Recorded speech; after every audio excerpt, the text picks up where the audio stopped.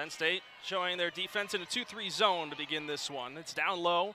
Inside Bostic goes inside against Brigham, and she converts. Kendall Bostic settles with McKenzie. Inside Bostic goes up with the left hand and gets the finish. Cook the feet inside to Hobby. Back outside to Bostic right behind the free throw line. She rattles it through. And a rebound to Cook. Cross court feed. Bryant. Murray was trying to jump it. Numbers the other way. Bostic inside. Lays it off the glass.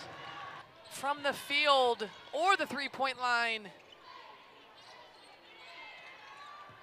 That was halfway down and then out. Kendall Bostic through contact and one.